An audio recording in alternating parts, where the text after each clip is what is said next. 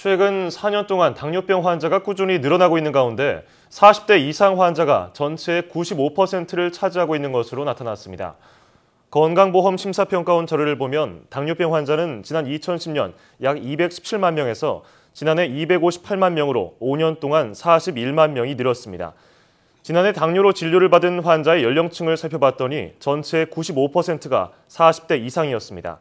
건강보험 심사평가원은 당뇨병은 여러 합병증을 일으키는 질환으로 증상이 없더라도 정기적인 혈당 검사를 통해서 조기에 발견하는 것이 중요하다고 밝혔습니다.